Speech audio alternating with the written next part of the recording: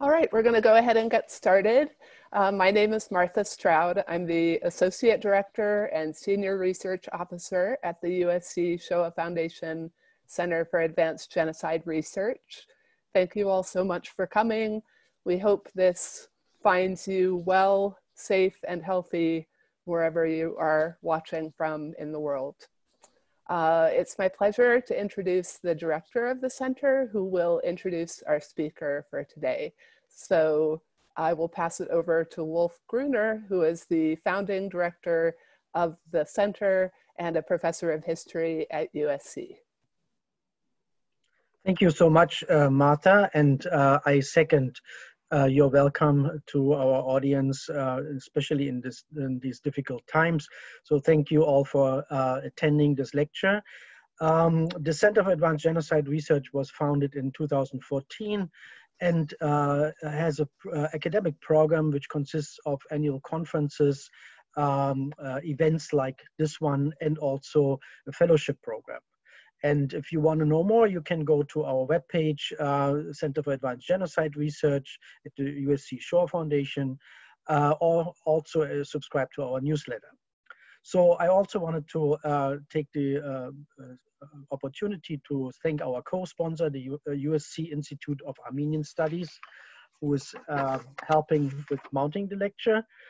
And uh, now I'm coming uh, to my uh, distinct pleasure to introduce our speaker for today, Dr. Mehmet Polatel, who is currently a junior postdoctoral research fellow at the Center for Advanced Genocide Research. He received his PhD uh, in modern Turkish history from Boğaziçi University in Istanbul in 2017 uh, on with the topic or the title of his dissertation is Armenians and the Land Questions in the Ottoman Empire 1870 till 1914. For this dissertation uh, research, he received the Society for Armenian uh, Studies Distinguished Dissertation Award for uh, uh 2015 and 2017. Before his dissertation, he got a uh, BA in International Relations from the University of Middle East Technical University in 2007 and a Master's in Comparative Studies in History and Society from Koç University in Istanbul in 2009. He, is, uh, uh, he was a postdoctoral fellow in Armenian Studies uh, at the University of Michigan Ann Arbor before he came uh, as a postdoc to the Center for Advanced Genocide Research. His main research interests are state society uh, relations, socioeconomic history, obviously the Armenian genocide, and the dispossession of Armenian property. Um, and remarkable about his uh, academic uh, career is um, that he already, before he even uh, finished his PhD, he co-authored an important book together with uh, Uğur Üngör entitled The Confiscation and Destruction, Young Turk Seizure of Armenian Properties, published with Bloomsbury in 2011.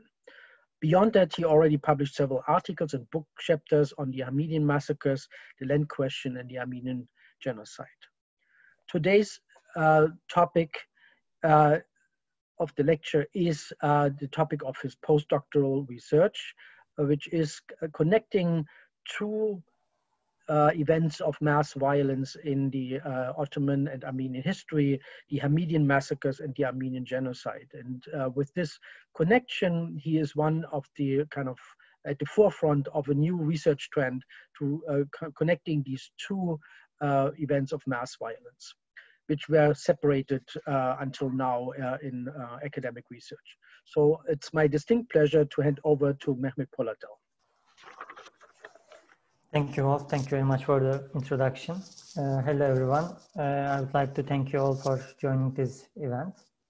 I also want to thank the Shoah Foundation Center for uh, Advanced Gen Genocide Research for hosting me as a postdoctoral fellow and for giving me this opportunity. Uh, specifically, I want to thank its director, uh, Wolf Gruner, and uh, to all my colleagues here, including Martha Stroud and Badem Pidic, for their support and friendship. Uh, I want to express my gratitude to my colleague and friend Manuk Avedikian, who helped me greatly in navigating this uh, archive. Last but not the least, uh, the, uh, the, Institute of Armenian Studies uh, is the co-sponsor of this event and uh, I'm also grateful uh, and thankful to them uh, and its director, Salpi Ghazarian. So as you see on my, the title of my talk, I will talk about my current research, research project, which focuses on the relationship between these two events, the Hamidian massacres and the Armenian genocide. This talk, uh, I will also talk about testimonies in the uh, visual history archives of the Shoah Foundation and uh, my work in this particular uh, uh, archive. The Hamidian massacres were a series of mass violence that took place in the years between 1894 and 1897 and costed the lives of more than 100,000 Armenians. The Armenian genocide happened almost 20 years later. later. and around a million Armenians were killed in this genocide. These are both well-known events and the scholarship on both of these events has been developing significantly in recent years. On the other hand, despite the recent development of scholarship on a number of directions, debates concerning the links between the Hamidian massacres and the genocide have remained limited to discussions over the intentions of the central government. More specifically to the question of whether the Hamidian massacres were a prelude to the genocide or not. As noted by various scholars, there were significant differences between the Hamidian period and the constitutional period, and the prelude approach marginalized the fact that there were a peri period in between, that is the initial aftermath of the constitutional revolution of 1908, when the establishment of an inclusive regime and alternative future was seen as possible by many actors. And I fully agree with these points. However, I think that the relationship between these two events deserves further scrutiny because we cannot ignore the fact that there were a series of massacres that costed, costed the lives of hundreds of thousands of Armenians and changed the demographic composition of population in many localities just two decades before the genocide. I think we can get a larger understanding of these events and their relationship by decentralizing our focus and shifting our gaze from Istanbul and the actions and intentions of the central government to what was happening at the local level. Who were directly involved in mass violence in these events? Which actors or groups profited from them? How did the enormous property transfers that accompanied the massacres impacted later developments? What were the elements of public debates at the local level in these two periods? Were there overlaps between the locations of massacres? I think such new questions can help us get a more nuanced and comprehensive understanding of the relationship between these two periods. And this is what I have been trying to do in this project, which focuses on the perpetrators, beneficiaries, and conflicts over material resources like land. The geographical focus of my project is the Ottoman East. I chose to focus on this particular region because it has some particular characteristics, both in terms of the Hamidian massacres and the genocide. The massacres of 1894 and 1897 had concentrated on the interior and eastern provinces of the empire. Moreover, in some eastern provinces like Bitlis or Van, order was never fully restored and the massacre per period was followed by what was called the Years of Terror by local Armenians. Secondly, during and after the massacres, there was a tremendous process of property transfer from Armenians to Muslims. In my PhD dissertation, I studied how this process transformed the characteristics and the extent of the Armenian land question. That is the question of what would happen to the seized properties of Armenians. And my research shows that these seizures also concentrated in this region. As you see on this map uh, that I prepared on the basis of a report prepared by the Armenian Patriarchate Commission established in 1908, there was a geographical distribution. It is the geographical distribution of significantly valuable properties seized by force. Of course, these are not all uh, seized properties. As you can see, there's a clear concentration in the eastern provinces of the empire. In some provinces, for example in Harput, Van, and Bitlis, the sum of disputed Armenian lands was more than half of the total area under cultivation in the province. Thus, this was a massive problem in some places in this region. And uh, this was a very important issue because agriculture and animal husbandry were the main socioeconomic activities of uh, people in these parts of the Ottoman Empire.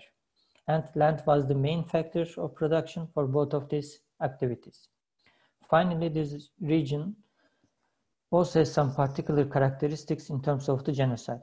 In some localities, there were almost no deportations because there were on-site massacres. This was the case in Bitlis and Diyarbakir, for example. As you can see in this map, prepared by the Gomidas Institute, the survival rate was also very low in these provinces.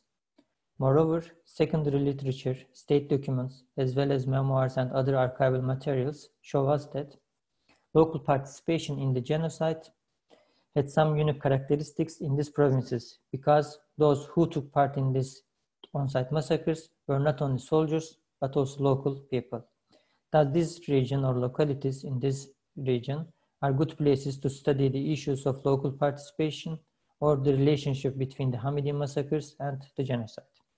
For my dissertation research, I had prepared a data set concerning local actors involved in the seizure of Armenian properties in the Hamidian period on the basis of documents in the Ottoman and British archives and documents, reports, and books written by Armenian institutions and individuals.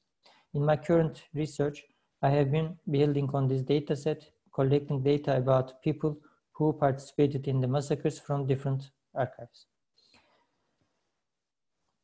I also started working on another data set about local actors who participated in the genocide.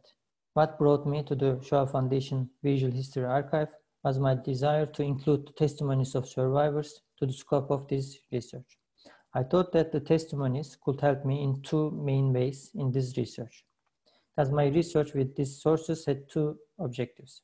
First, I wanted to examine these sources to get an understanding of survivors' own experiences of these events and to see their perspectives concerning the issues of Hamidi massacres, land disputes, and material motivations of perpetrators. Documents in state archives or documents prepared by or submitted to institutions rarely provide an opportunity for this. My second objective was to enrich the empirical data, data about local dynamics and the relationships of people that was uh, that I was gathering with the help of survivor testimonies. This is an ongoing project, but I want to provide a very brief overview of what I have found so far. My research shows that during the massacres, there had emerged a very large interest group who had benefited from the processes of property and land seizure. These include local power holders, that is, actors like Ağas, beys, religious authorities, and tribe leaders. But these were not the sole beneficiaries or usurpers. There were also people of more limited means who had seized lands or extended the borders of their fields at the expense of their Armenian neighbors. These include locals, nomadic and settled Kurds, and Muslim immigrants, in most cases Circassians. After 1908, the resolution of the Armenian land question had become a possibility because of the shift in the political context and this had co caused considerable escalation of tension and resistance on the ground. Many local power holders who had taken part in the Hamidian massacres and increased their wealth and power in this process had found different ways to assert their positions on this matter. Some had petitioned the government. Some others had published threatening articles. Others had frequented the offices of local governors, pressuring them to resist possible attempts for the return of these lands in line with the reform framework that was being established in 1914. There were also small and large-scale rebellions. Just before the genocide, actors who remained at odds with the government, mainly because of this issue or because of events and developments related to this issue, were officially pardoned by the government. Thus, there was the, this final phase of rapprochement between the state and local power holders on the eve of the genocide. In terms of local actors, who carried out important tasks in genocide operations during the war, there were significant continuities.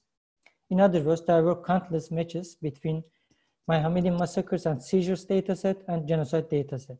The personal histories or family histories of many people who took part in the administrative supervision of the seizure and distribution of Armenian properties during the genocide or personal or family histories of many perpetrators who participated in or led the massacres in their respective regions were linked with the earlier massacres and seizures.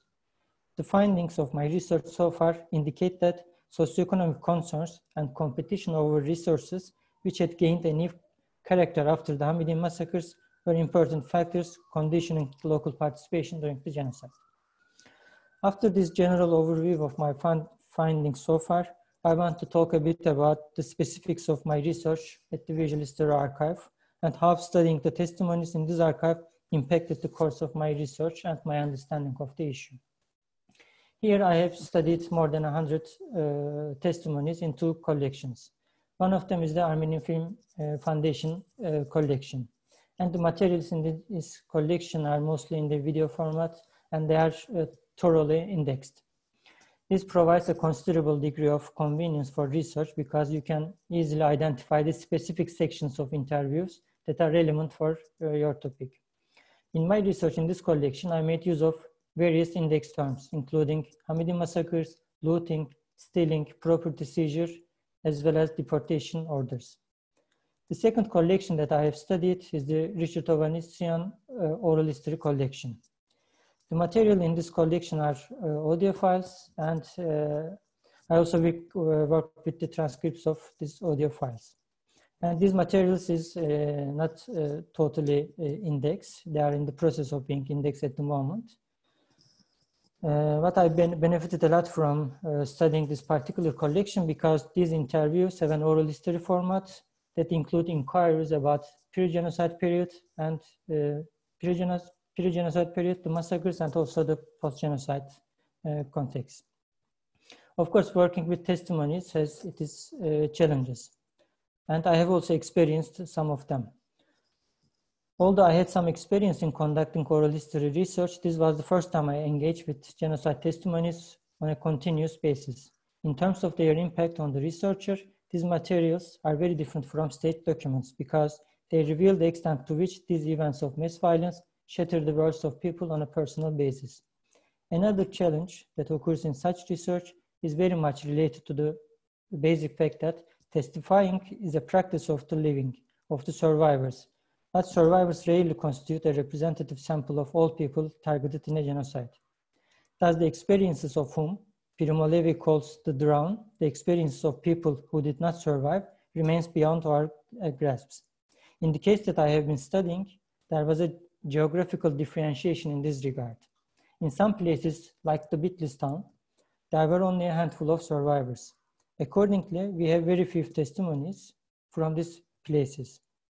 And in these cases, it is rather difficult to get a sense of what happened in different parts of the provinces, province on the basis of testimonies alone.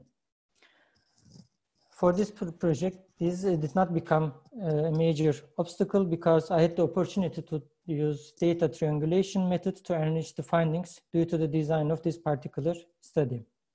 Another challenge of working with genocide testimonies is related to the fact that genocides often result in the uprooting of people. In other words, in various cases of genocidal violence, people find themselves in unfamiliar social and physical environments.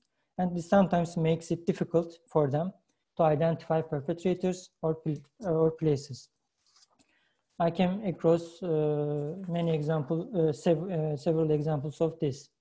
There were many testimonies in which the actors could only be identified as a Kurd or Turk or as a group of Kurds or Turks.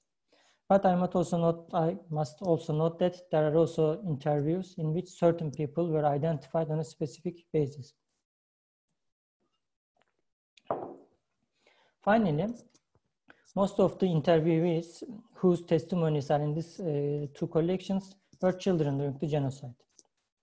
Working with testimonies of survivors who were children during the genocide can be uh, challenging, especially if they were very little at the time of the genocide. In these cases, survivors may not remember many details. On the other hand, these testimonies can also provide unique uh, insight. In terms of the testimonies that I have examined, there were many children who were taken into Kurdish or Turkish uh, families. Many of them were kidnapped or sheltered for material interests, to carry out agricultural work, to take care of animals, or to do domestic chores. In some cases, these children remained in these places for long periods of, long periods of time, and their testimonies provide unique insight concerning the genocide and its aftermath at the local level.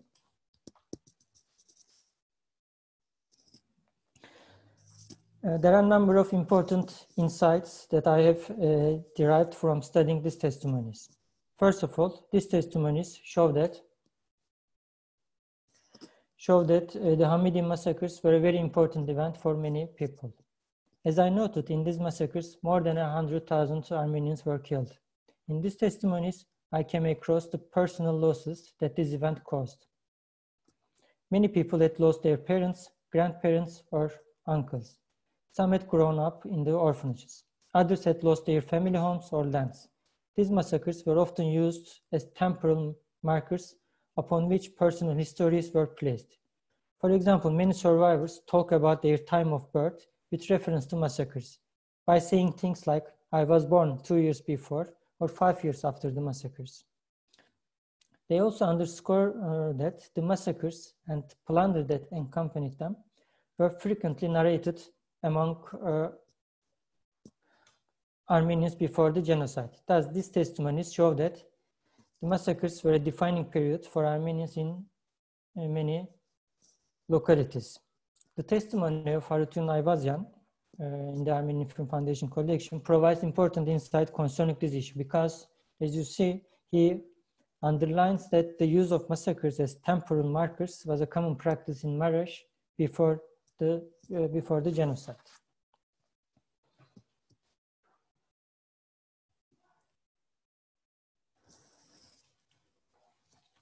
Studying these testimonies, uh, I saw that themes like the land question, plunder, and access to natural resources like water uh, were also important elements of the narratives of, uh, narratives of survivors. Many survivors, even those who were children at the time of the genocide, had detailed knowledge concerning the socioeconomic life in their localities and the dynamics of land question at the local level. This was most probably uh, related to the fact that in the rural areas, children were often a part of a part of the production process and personally worked in the fields despite their young age. For many survivors, the land question was a personal issue because their families had lost their lands, lands or animals during or after the Hamidian massacres, and this had impacted their uh, living conditions in a major way. Many families had become significantly impoverished because of these processes, and these testimonies provide us unique insights to understand the personal impact of these issues and how they were actually experienced by uh, individuals. As I noted, the matches between the main beneficiaries of the processes of property transfer and people who directly participated or coordinated the massacres during the genocide at the local level indicate that material interests might have played an important role in shaping the unfolding of genocide on the ground. The prospects of keeping the lands that they had seized in the previous period or the prospect of seizing live and thus increasing their wealth and power might have motivated many local power holders in these uh, actions. The testimonies of uh, various survivors support the conclusion that material interest and competition over resources were important factors shaping the behavior of local power holders before, during, and after the genocide. For example, Bogos Kolostian, Kalus, uh, Bogos Kalustian a survivor from the Tadem village of uh, Harput, was 15 years old during the genocide. In his village, all adult men were killed, but many younger males had survived because the local notables or the Ağas, who were tasked with supervising the deportation and massacres in the region, were also large land uh, landowners who had seized many Armenian properties during the Hamidi massacres and during the genocide, and they simply needed people to toil these lands and to harvest. Because of this, because they had both land and people who could be used as unpaid labor, they would clearly become very rich. Kalustian notes that this had caused jealousy on the part of other Muslims who reported this situation to the government and that there was another wave of violence, this time targeting children following uh, this incident. As seen in this case, at the local level, Socioeconomic concerns and competition over material resources were important factors shaping the unfolding of the genocide at the local level. As I noted, many children were spared from deportation or uh, massacres and distributed among Turkish or Kurdish families to work as unpaid laborers. Some of them worked in the fields, some grazed sheep, some worked as servants in households. Some of these testimonies indicate that some of these children were also used for determining which lands belonged to which Armenian families before the genocide by people who took them into their households. This seems to be done to facilitate the distribution of these newly seized properties among the locals. In the testimonies of survivors who worked as unpaid labor after the genocide, the specifics of their labor and working conditions have a significant place. In some cases, their memory of this specific time period is confined to these issues. After these uh, elaborations, I want to talk a bit about two specific cases and how studying these testimonies helped me in tracing the links between the Hamidian massacres and the genocide in terms of perpetrators. In order to do this, I must go into detail. Uh, I must go into detail a bit because this is the only way I, want, I can highlight the extent to which these testimonies contribute to this project. One of the cases that I want to uh, mention here uh, is a village in Harput named Tadam, or today's name is Tadam. By 1914, 1,300 Armenians and around 60 Muslims were living in this village. Before my research with the testimonies, I had some information I had some information regarding the events and actors in this locality because there are documents about them in the British, Ottoman, and Armenian sources, and, but my knowledge was very fragmentary. The data I had back then was not enough to get a general picture of relationship and patterns. It was all bits and pieces. At the VHA, the Visual History Archive, there are three testimonies from this village. The names of the survivors are Yegisabe Terzian, Bogos Kalustian, and uh, Miss Egoyan, whose first name was not specified. And thanks to these testimonies, I found a chance to get a larger understanding of these relationships and patterns at the local level because all of these survivors had provided various important uh, details. Starting with the data that I had.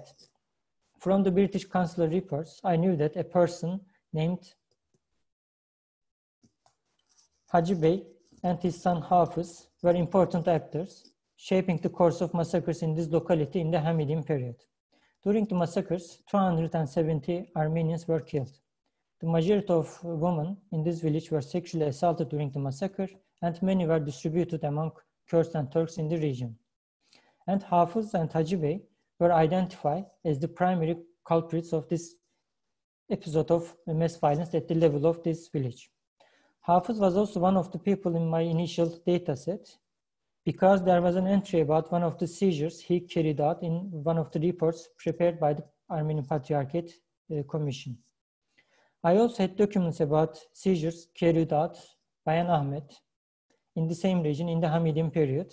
And I had also seen documents from the Ottoman archive concerning operations and seizures led by a person named Bekir during and after the uh, genocide period. Actually, this is one of the uh, uh, documents. This is a complaint, complaint petition written by the surviving Armenians of Tadem in the years of armistice. With this petition, the peasants also demanded return of their lands uh, seized by this uh, Bekir. At the course of this research project at the VHA and uh, working with the testimonies, I became aware that all of these men were members of a large family group, Haji Beyoğulları or Haji Beyzade, and that individuals from this group were actually involved in later processes of mass violence and seizures in different ways. Because the survivors had stayed with different members of this family group for prolonged periods of time, they had knowledge about who was who and who had done what. And thanks to the information that they provided, I was able to get a much thicker understanding of the events and actors in the locality. Data triangulation that are carried out after examining these testimonies shows that members of this family group had seized various lands in this region during and after the Hamidian massacres, and that they were actively engaged in the coordination and implementation of genocidal operations in 1915. The soldiers had sieged the village in 1915 under the command of Hafiz. And his house was used as the place for the gathering of Armenians to be deported. In the case of people gathered in this way, deportation was not a long journey because many of them were killed within Harput. In this process, conversion affairs, which were mandatory for the stay of surviving Armenian children, were carried out in the house of Ahmet. In this period, various members of this family group, family group had seized new lands belong, belonging to Armenians and used the labor of surviving Armenian children to cultivate and harvest these lands. When follow-up orders came for the liquidation of all Armenians in these localities, they had also participated in the second round of genocidal violence that targeted the surviving and converted Armenian youth and women.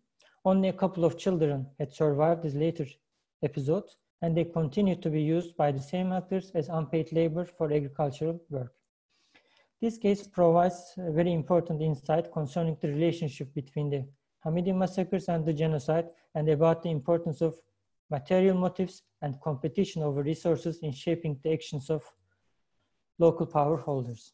And without the testimonies of these three survivors, I would not, uh, I would not be able to reach these findings. Another case that I want to mention here is the case of Charsanjak. Uh, this is the uh, the center, uh, central town of uh, Charsanjak district, uh, which was a district of Harput. And uh, Charsanjak was a much uh, larger place inhabited by almost 6,000 Armenians and 4,000 Muslims in over 40 villages. And I have been collecting documents from different archives about this place for some time because there was a very large scale and prolonged land dispute in this locality. The land dispute in this district had begun in the mid 19th century at the course of changes in the land regime in the Ottoman Empire. In this period, the uh, beys or notables of Charsanjak, led by Isak Bey, had attempted to register all lands in, this, in, in the district in their own names, arguing that they had ancient rights over these lands which were given to the control of their ascendants.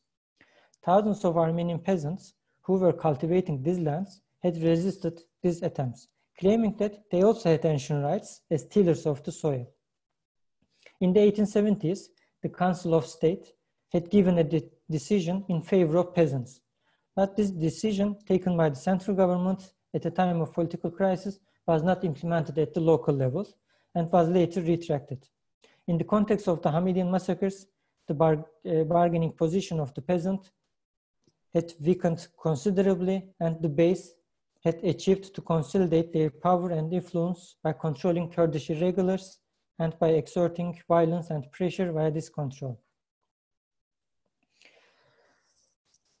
Isak, uh, Osman, Arslan, and Ismail were all uh, involved in this process of mass violence uh, during the Hamidian massacres. However, towards the end of the 19th century, just when they had consolidated power over Armenian peasants, these uh, certain beys or uh, notables had begun to fight among themselves. Thus, there was this period of intra-family feud within Isaac Bey's family, and this resulted in the imprisonment of all his sons, Ismail Arslan and uh, Sherif. And as Isaac Bey himself died in this period, his brother Osman and his son Ahmet had taken control of the disputed lands. With the general amnesty that was declared after the revolution of 1908, Isaac Bey's sons were released. Around the same time, Armenian peasants of this district had begun to submit collective petitions and to make demonstrations demanding the recognition of their rights over the lands. And Ottoman and British documents suggest that these efforts were also supported by Arslan Bey, who had probably changed his position on this matter due to being marginalized in the previous years when other members of his family increased their power at his expense. At the Visual History Archive, there are uh, various testimonies by Armenians from this area, and these sources helped me deepen my understanding of this case in a considerable way. Uh, as I said before this research, I had an understanding of these people and these events, but this was mostly based on documents written by people like state officials, foreign consuls, or Armenian politicians, intellectuals, as well as peasants. Here I found the chance to look at this case by taking an additional perspective into account, that is the perspective of genocide survivors. Thanks to the uh, documents of documents in state archives, I knew that these beys were very powerful. What I did not know was how this situation actually impacted uh, people's lives or what they had experienced at the course of these uh, developments. Studying these testimonies, I saw that in the eyes of Armenian survivors, these beys were not only powerful, but also only powerful because they had something like what is called the sovereign power, power over life, life and death in political philosophy. In some testimonies, they were referred to as the kings and even gods of Charsanjak.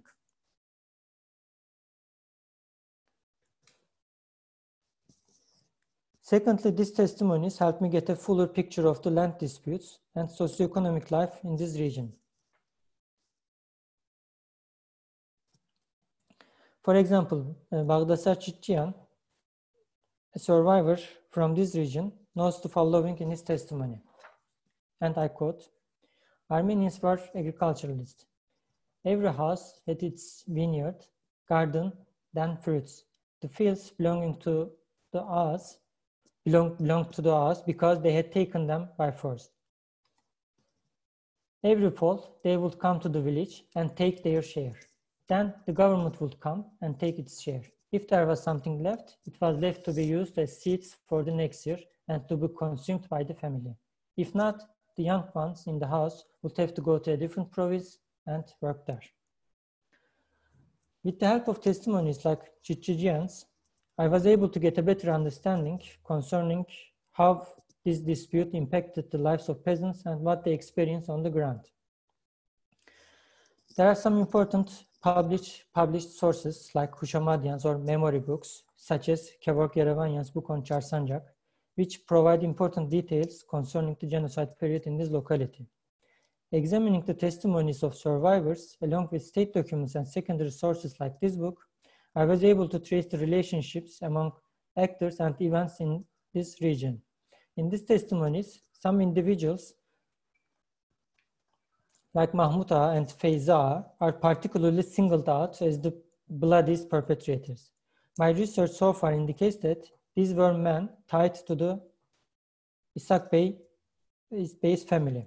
Another individual underlined in this testimony is Ahmet Bey, who was identified as some sort of a coordinator for the massacres that took place during the genocide.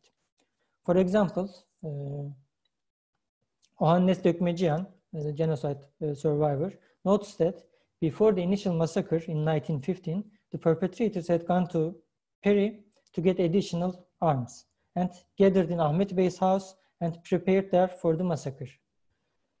This information may not mean uh, much in itself, but when we triangulate data derived from different sources, this information becomes very significant because Ahmet Bey was among the members of the Isak Bey family who increased their control and power after the imprisonment of other members of the family. And in 1909, Armenian peasants had submitted various petitions to the local and central government complaining that this Ahmed uh, had been ordering murders, seizing properties, and sexually assaulting women in the region. What we see with the help of these testimonies is that this very same individual had played a crucial role in the coordination and, reality, uh, and implementation of massacres during the genocide. So uh, in this talk, I try to outline the highlights of my research, research so far, and the specifics of the research that I have been carrying out at the uh, center. In my case, the process was kind of similar to looking for needles in a haystack, but this proved to be a very rewarding effort because I actually found uh, many uh, and this research contributed greatly to my uh, efforts to trace the relationship between the Hamidian massacres and the genocide in terms of perpetrators, beneficiaries, and material uh, motives. And I am sure that the materials in these archives can contribute greatly to many other researchers who examine different aspects of this case. And uh, thank you very much for listening my lecture. Thank you so much, Mehmet. I'm sure if everybody were not on mute, they would all be uh, applauding along with me. Thank you so much. Thank you. Um, and there are many thank yous and great jobs and praise in the chat. So um, we would like to open it up now for discussion and for any questions or comments you have. So if you do have a question or a comment, please click the participants button in your Zoom controls. And then on the left-hand side, you'll see a raise hand uh, button. And so please raise your hand and we'll call on you um, and unmute you to ask your question. And if we turned off your video at the beginning of the lecture, um, feel free to turn that back on yourselves. I believe you can control that, but we will control the muting. Before we launch into this section, I want to add our thanks to Mehmet, to the USC Institute of Armenian Studies, who are co-sponsoring the lecture. Um, the Institute is an incredible partner for our center, and we're so happy to partner with them on this event. In the chat, if you scroll back in the chat, you'll see some links to the center website, to the Institute of Armenian Studies website, as well as a link to a podcast produced by the Institute of Armenian Studies with the Institute's director, Salpi Ghazarian, uh, a podcast which was an interview with Dr. Polatel, um, which hopefully you will enjoy. All right, so we have some hands raised. I'm gonna start with Al Isayan, and apologies in advance if I um, mispronounce your name. No worries, it's Isayan. Um, Dr. Polatel, great presentation. I am uh, curious, um, how many of these families of the perpet perpetrators have you been able to trace to current contemporary um, either uh, large families or um, government uh, officials in, in contemporary Turkey? Like how much of these land and wealth um, uh, stealing of this land and, uh, and wealth from Armenians ended up creating the new uh, oligarchs of current day Turkey? Thank you. So I'm answering right away, Marta, right? Yeah. Okay. Thank you for the question. So uh, uh, for now, I'm just uh, trying to uh, collect or uh, to collect the data about uh, perpetrators or those people who seized the properties before and during the genocide. So right now, I don't have the concrete numbers, but it is, and for instance, in the uh, Armenian uh, Patriarchate Commission's reports for the uh, Hamidian period for the seizures of Armenian properties, we are talking about over 7,000 cases. And sometimes uh, the names of uh, persons who seized these properties were not identified, but we are talking about more than uh, uh, hundreds of names. And so I'm trying to tracing their names. So of course, I don't know the, uh, I can't say uh, about the exact number of people who became oligarchs after the Republican period. But of course, we are talking about many people. All right, thank you for that. All right, now Nareg Safarian? Yes. Hello, thank you. Hello, Dr. Polatel Mehmet. Very nice to see you in this way as well. Thank you very much for your presentation. I was wondering about details in the 1890s. So talking about local notables, Beys and Oz, or talking about uh, maybe recent arrivals from the Caucasus or the Balkans, that's a part of the dynamic when it comes to property seizures and reallocations. But I was wondering if there was also the case of the settlement of traditional nomadic tribal groups. I don't know if this was a longer term process or if it played a part at all, and if it was something that was coordinated by the state, perhaps a motivating factor for the 1890s massacres? Thank you. So, uh, sorry, Narek. Uh, first of all, thank you for the question. You are asking about the settlement of nomadics, right? Not the immigrants or immigrants.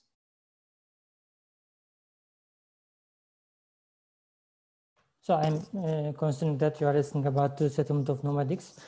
Of course, it is um, the nomadic tribes uh, and semi uh, semi-nomadic tribes uh, were being settled, forcibly settled, starting from the Tanzimat era or the early 19th century. And there were several cases.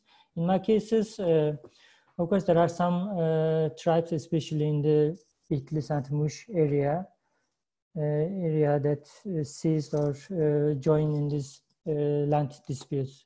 For instance, in the Sassoon area, uh, the, the, the, discussion or disputes was not just about the settlement of uh, those nomadic tribes in the Armenian village, but it is about the usage of uh, pastures because those nomadic tribes wanted to use these lands around the Armenian villages as their pastures for their uh, uh, animal husbandry uh, animal husbandries. But what we see is that actually these were after the, the, the land transformation, the uh, changes in the land re regime, these pastures actually became the part of uh, Armenian uh, village ownership. So it created this kind of problems. During the Hamidian massacres, I think of course, some uh, tribes, uh, especially under the Hamidian regimes that was established by the uh, Uh, state uh, to uh, not just the, the Armenian issue, but also for against Russia. There were several tribes under these regiments and they joined the uh, seizures and there are several names of uh, tribes of course uh, in the list of Armenian Patriarchate and also in my data set. Yeah, that is it. Okay. Um, Manuk, I assume this is you. Do you have your hand raised? Yes, I did. Yes, I do. Welcome. Uh, should I, I guess I can put my video. Um, hi, Mehmet. Um, gosh, let me get the Kamancha players out.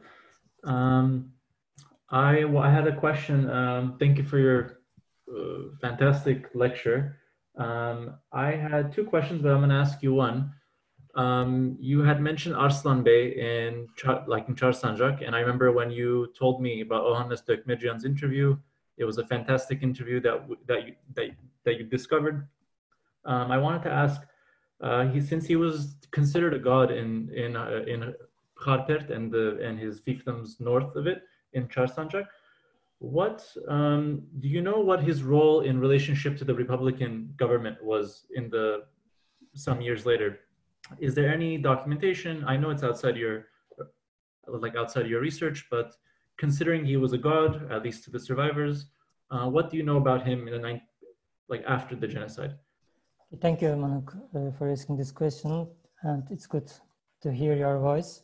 And I remember that when I listened to this testimony, I just called Manuk and uh, because I want to talk about this interview because it is very important. This uh, Ohannes, uh, the survivor Ohannes Dökmeciyan was actually stayed uh, had actually stayed with this Aslan Bey for eight years during the genocide, and he was of course uh, kidnapped or maybe we don't know uh, the actual reason because during the interview Ohannes Dökmeciyan didn't want to say bad or uh, bad things about him. There are several reasons I, I think, but the important thing is he, uh, I think Aslan Bey helped him to save his two sisters from uh, other Kurds who kidnapped Ohannes Dökmeciyan's sister. So that is why he didn't want to say uh, bad things. But in some point in the interviews, his wife uh, joined and he kind of talked about this Arslan Bey was the king of the uh, this Arslan Bey was the king of the uh. So uh, I think I'm not for sure, but as far as my research shows, he was he actually died in 1922 or 1923 and it is not clear in uh, Ahmet Dökmeciyan's testimony but when I look at the other uh, searching his names I couldn't find anything about uh, during the the Republican period but we know that uh, when we think about this family the large in a larger way this family was actually uh, uh, uh, they actually worked with the Republican state in a different ways. They were Sunni tribes and they were kind of, um, for instance, joined the uh, Dersim massacres, uh, Dersim massacres of 1938, and they again uh, became the culprits of this uh, issue, not the Arslan, Arslan Bey, but the other families. And we know that even in 1916, they were used by the uh, Ottoman state to suppress the Dersim rebellion in 1916 and they created a militia group and this Sherif Bey, for instance, uh, became the one of the commanders. So I think they uh, continued working with, uh, with uh, state, but of course it is not always the case. In some cases, in different cases, for instance, some uh, tribe leaders who joined both Hamidian massacres and uh, the genocide became, uh, they were also targeted in the Republican period by the state uh, in terms of the Kurdish issue, but it is another question and another topic. Thank you. Okay, M Matthew Ghazarian. Uh, let me see if I can un. I've been unmuted, but yes. my video can't start. It's oh, been blocked, but that's okay. I can ask as a disembodied I'll, voice. I'll get oh, it. Here we started. go. Yeah. There we go. Thank you very much, Mehmet. It was a great, uh, a really great lecture and very enlightening very cool sources. I have two questions. Uh, one of them is a clarification question, and then the other is about the sources you use. So for the clarification question, uh, you talked about you know a couple families that uh, you were able to kind of piece together the kind of bits of information that you picked up out of Ottoman and Armenian sources elsewhere through these uh, archives, which is really cool. For the, I just wanted to clarify, for example, with the Hajibeyolu family and some of the others you described, were you tracing that the same family was involved in carrying out violence and distributing properties that had been seized from people who were murdered or dispossessed uh, in both the 1890s and 1915 like that across either the same actors or the same like different generations of the same family that there were the same families who were participating in like uh, carrying out violence and seizing property did i understand that correctly or were you only talking about 1915 or only talking about 1890s uh, actually for uh, this uh, specific uh, uh, districts i actually looked for the generational, like from 1890s and 1915, what they did this family or uh, all these persons. Because it's also like discussed in the Armenian testimonies like that. They said that Hafiz Bey was already, Hafiz already uh, had killed Armenians in the Armenian massacres and now he, he became the, his house became the center for the genocide massacres. So mm. I also I'm also tracing them in the generation way, but sometimes I only I only find uh, one information about uh, Hamidian, their role in the Hamidian massacres, but sometimes I found only in the genocidal periods, but it's not these two cases. Okay, so it depended case by case, but you did find some examples of that. Yeah. Got it. Okay, thank you for clarifying. And then quickly on the, the sources, I was just curious to what extent the sources in the Visual Historical Archive uh, shed light on the social and economic life of both Armenian and non-Armenian peasants. Uh, I was just curious, you know, you and other authors point out that a lot of like this was a time of general dispossession as well. That in general, the condition, the financial and economic conditions of the empire were such that elites, as they often do, were exploiting non-elites, taking their stuff, uh, seizing their land for various reasons. And I just wanted to know to what extent the sources in this archive shed light on this question of, you know, to what extent were Armenians uh, singled out for violence and dispossession, and to what extent this was a, a general movement of violence and dispossession toward the end of empire uh, as other groups in increasing economic competition with each other were suffering. Thank you. Matthew. And it's also great to hear your voice. It's been a while. We last met in Istanbul. So, and of course, I know your research too, and this is very.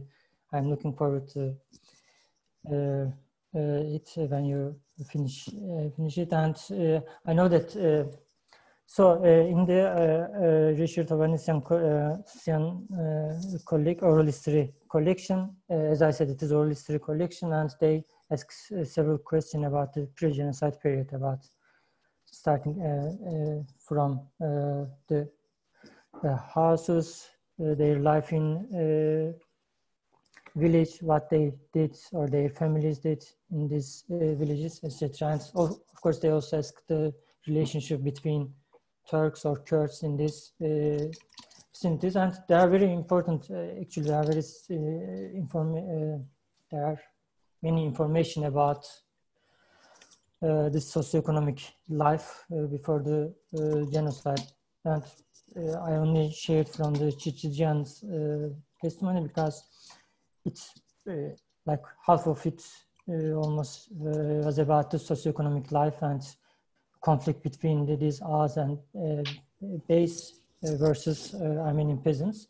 There are a little, little information about non-Armenian non-Armenians unless they were local notables or uh, operators, but they mostly uh, talk about, for instance, in some cases they said that, for instance, uh, Kurds, uh, some Kurd, Kurdish peasants were worked for uh, Armenian families on their uh, agricultural research or kind of things. And they knew that there are there were also Kurdish peasants uh, in the same condition with the Armenian peasants. They gave some uh, comparisons, but it is not, uh, of course, not too detailed. And but as I said, they these testimonies include information about this and uh, I'm trying to remember the testimonies, but in general, yeah, they are, they are very helpful to understand the socioeconomic dynamic, especially at the local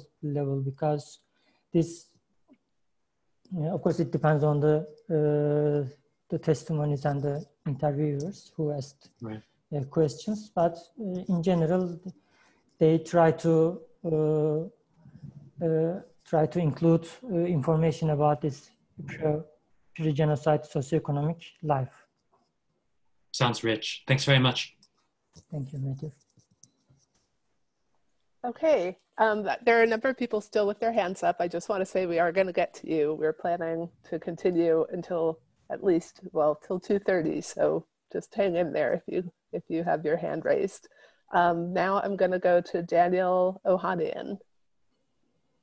I have unmuted you, Daniel. Hi there.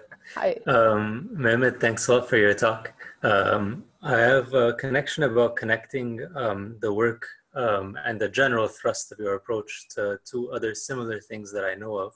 Um, and my question is an open one.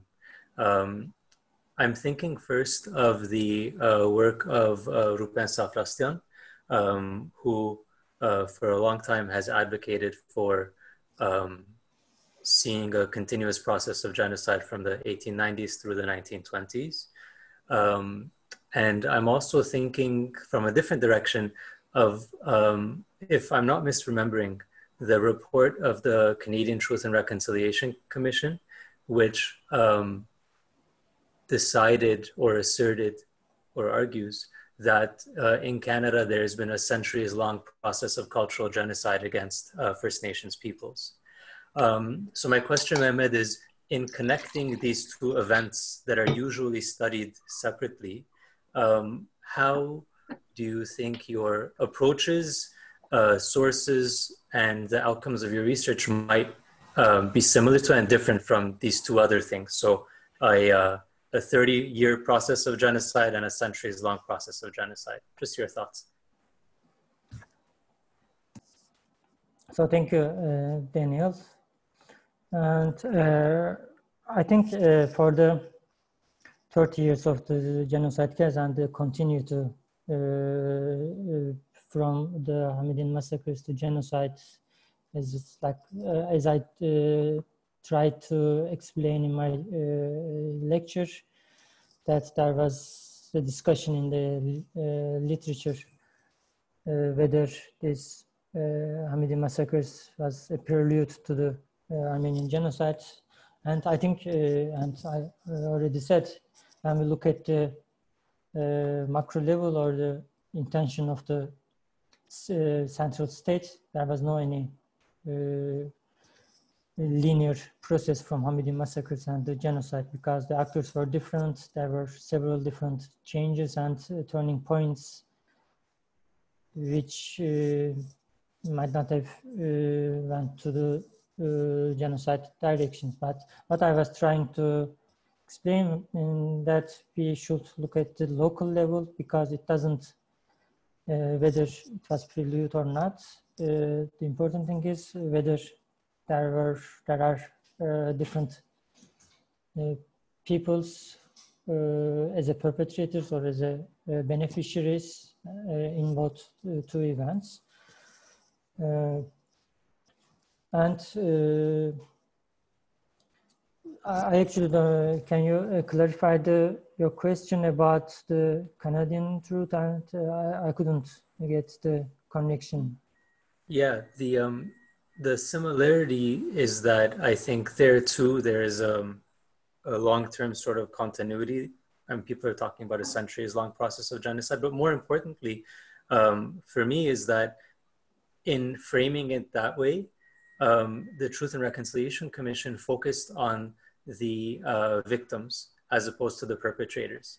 And so the notion was that although there are different people leading, in fact, I mean, Canada exists since the 1960s, maybe the eight, maybe 1867, depending on how you look at it. But Canada didn't even exist when, according to the Truth and Reconciliation Commission, genocide started. So, despite the fact that the government and the governors change, for the Reconciliation Commission, there was a, a, a long process from the victim's perspective. Um, I wonder if that approach is at all attractive to you and if maybe that's where you're headed as well. By looking at the local, things appear continuous, even though from up top things appear discontinuous. So yeah, thank you uh, for clarification. Now I uh, get the uh, question. So it is, uh, of course, uh, right now, uh, I'm not thinking like that. Of course, it is new way to look at the issue and I will con consider about it right now. I'm not sure whether can we start the genocide from the Hamidian massacres. Of course, it is, uh, uh, uh, we can, of course, accept the Hamidian massacres uh, and accepted the wrong wrong thing without saying that the genocide has been uh, started from uh, this time period. I think the Canadian Canadian case a little bit different, whether I'm not sure how to compare. So uh, I think it's a good question. It's a good uh, thinking point, and uh, uh, actually, I, I, don't have right uh, answer to the right away.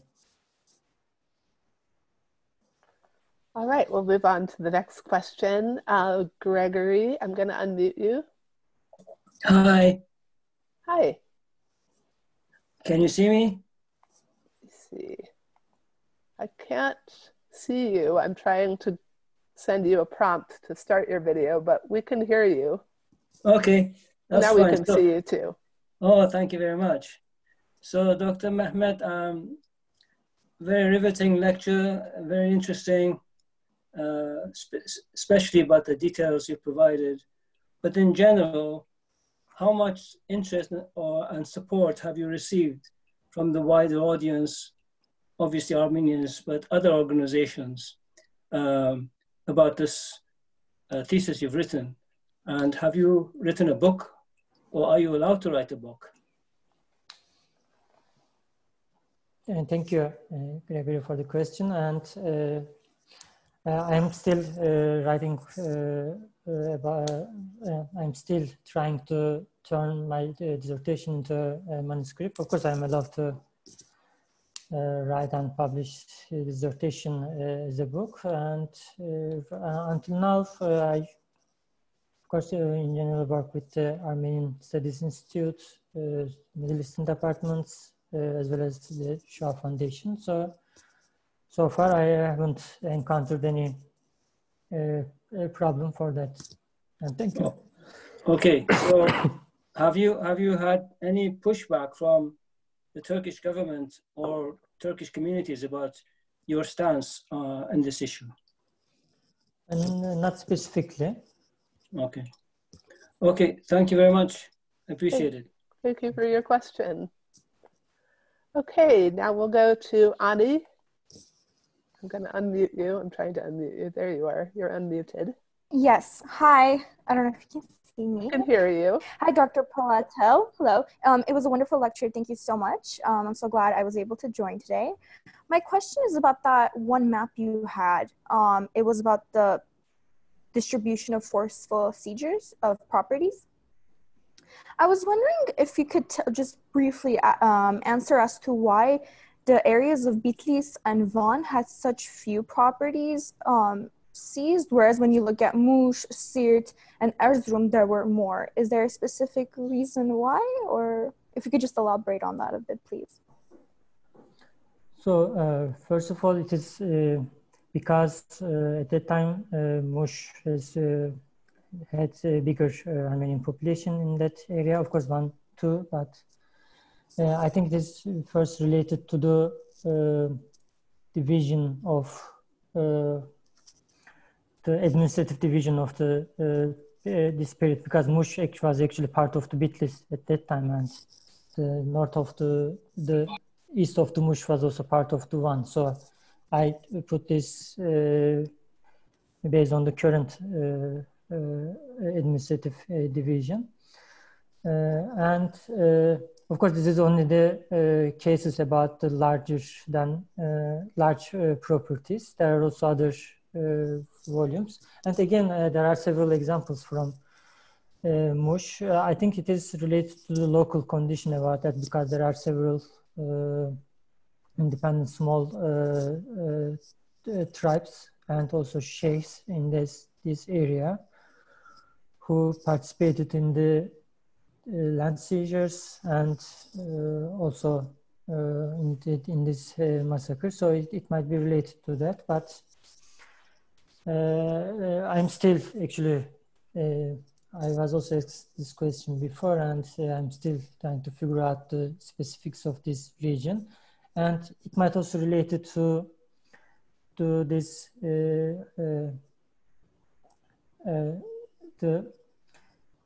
as I said, this is the properties larger than 10 hectares. Mm -hmm. So because of that, maybe in the in Van uh, the properties that uh, smaller than this uh, amount might not be might not been cited in this report because we know that the commission member Kegham Der Garabedian uh, criticized the report in general, saying that they actually didn't include the small scale uh, lands in their reports, and he wrote separate book about it.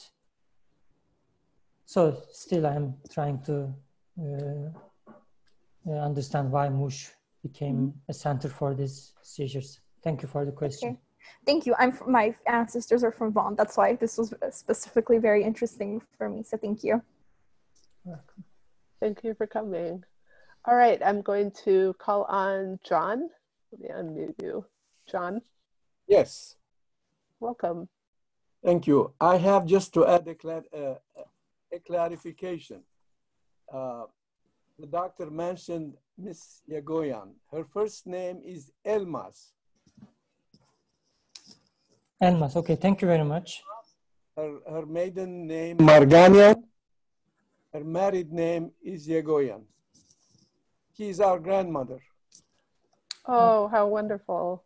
Uh, thank you. Thank you for the most welcome and thank you for your beautiful lecture. Thank you. Thank you for the clarification. Thank you. Thank you so much for coming.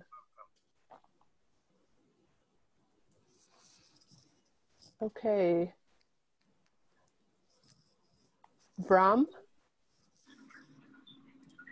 Hello, can you hear me? Yes, we can hear you. All right, so uh, I actually have uh, one uh, question and then I kind of have this food for thought. Um, my question would be, you know, which we never really talk about. I'm having. Are you there?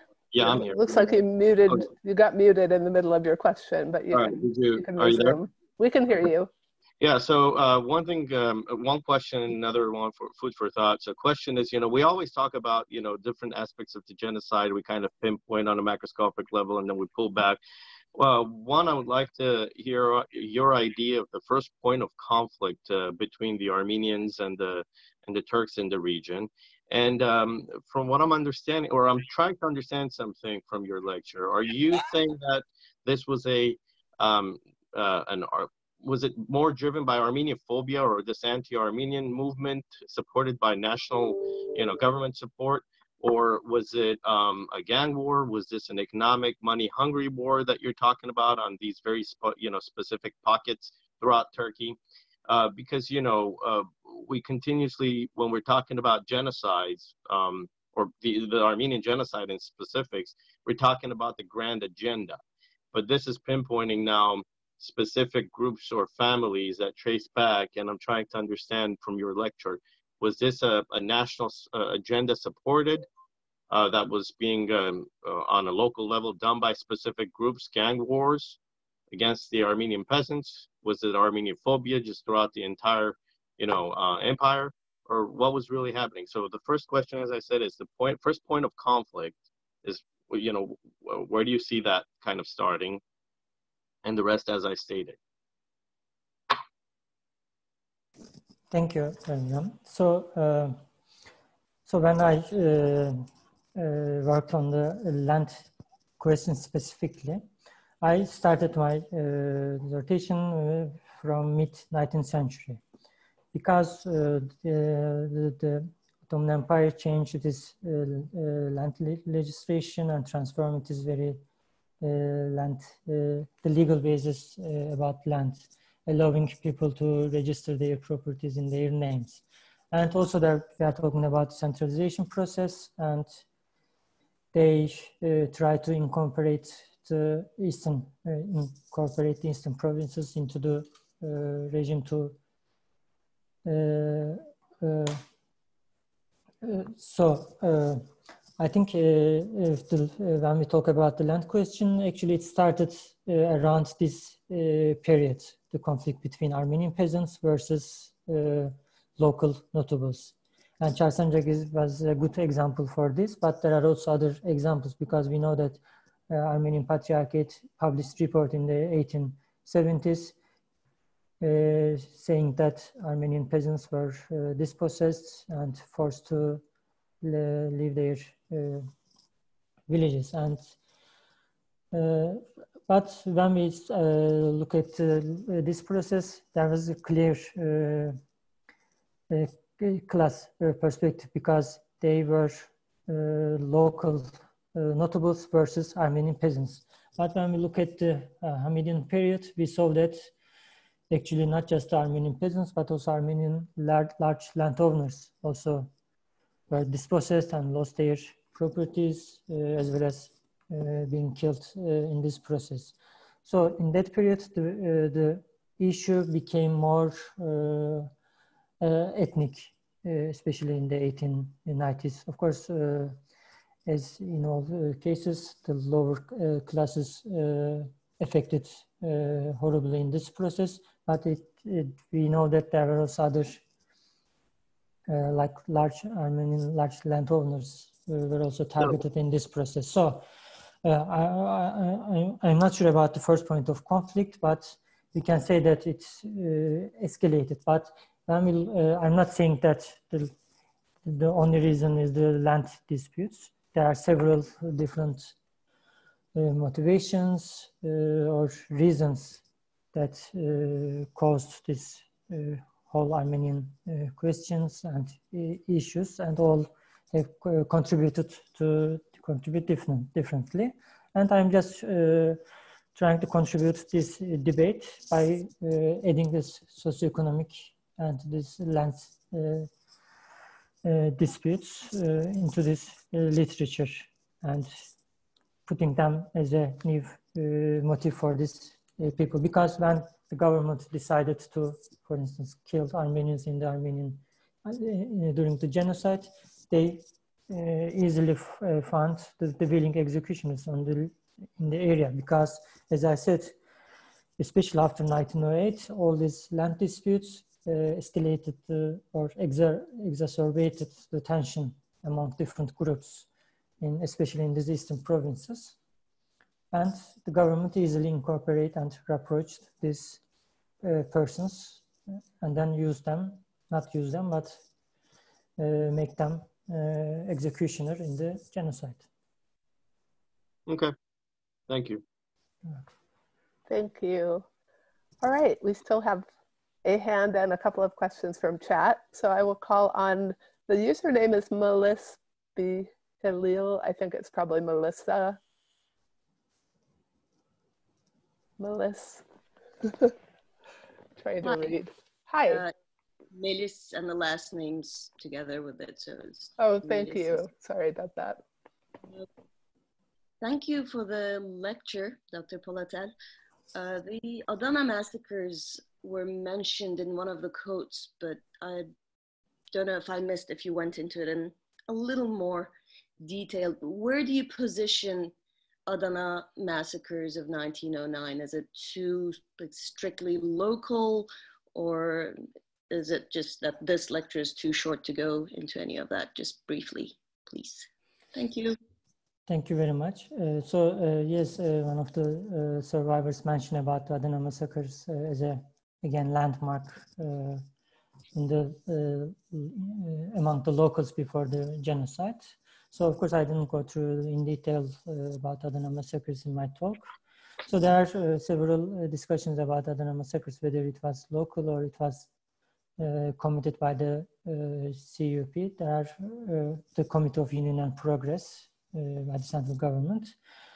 I think now, I think that it, it first uh, was started by the locals, and we know that the uh, CUP, the Committee of Union and Progress, organized uh, uh, the local uh, Committee of Union and Progress joined the massacres, but uh, until now there are no, no, any clear evidence showing that the central government actually organizes massacres. So it started with started from the locals by the uh, participations of uh, all local groups from the uh, Committee of Union Progress as well as others.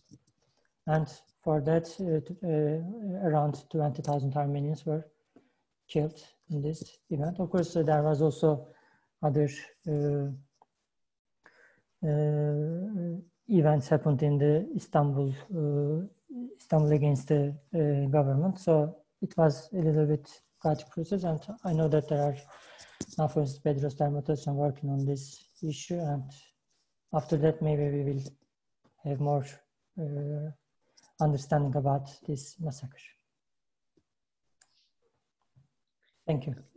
Thank you. I, I was actually wondering if you see it as a part of the continuum between the Hamidian massacres and the genocide or separately. So Adana is not the local area that I am uh, directly looking uh, for this uh, project. As I said, I'm mostly looking for the eastern provinces.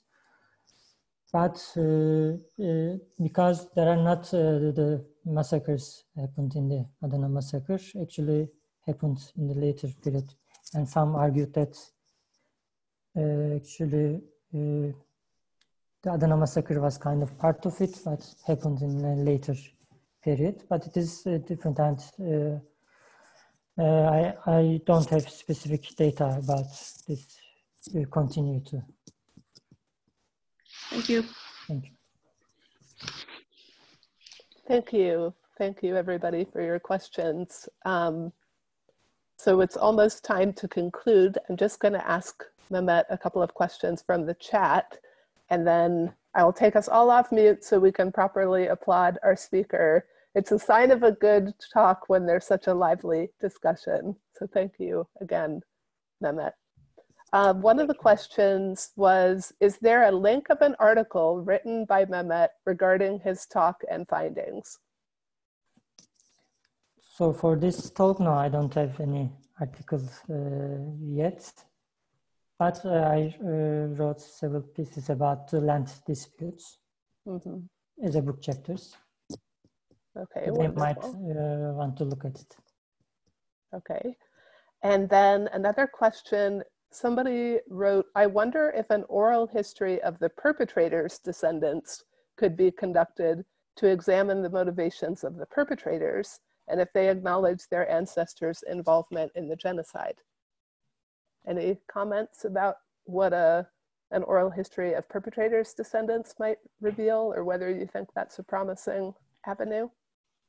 I think, yeah, it, it can be uh, done. Uh, I'm not uh, considering to do that, but it uh, right now, because I'm now dealing with more uh, historical periods, but we know that there are studies, for instance, Ümit Kurt worked uh, on uh, Antep area, and he actually talked with the perpetrators' families uh, about the uh, the unfolding of genocide in the Antep region, and he revealed very important information uh, through the descendants of the perpetrators. It's a, a good uh, example of the possibility of uh, talking with perpetrators to get information. It can be, of course, uh, very informative about it, but of course it depends on the uh, area and region. Sometimes it is not easy to make people talk about their family's wrongdoing. It is challenging.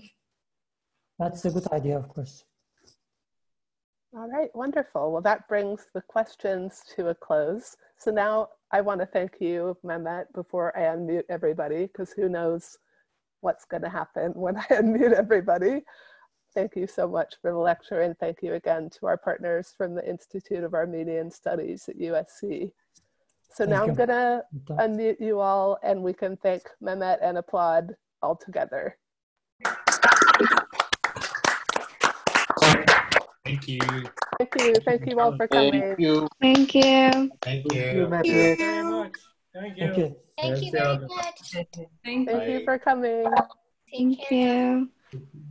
Thank you. Thank you.